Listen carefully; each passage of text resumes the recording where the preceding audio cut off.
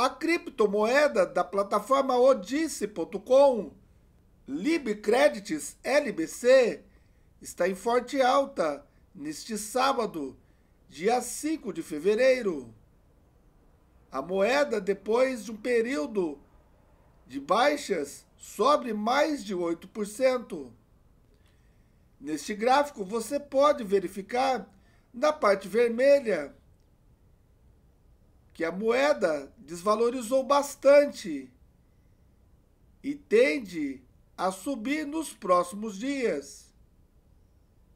Com o desenvolvimento da plataforma Udice e a retomada da sua alta,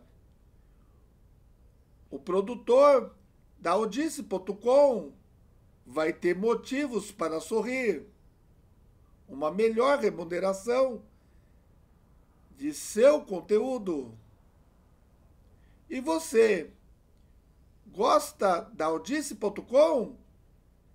Se inscreva na plataforma e venha fazer parte da comunidade cripto que tende no futuro a desbancar o Facebook, o YouTube e outras plataformas de vídeo.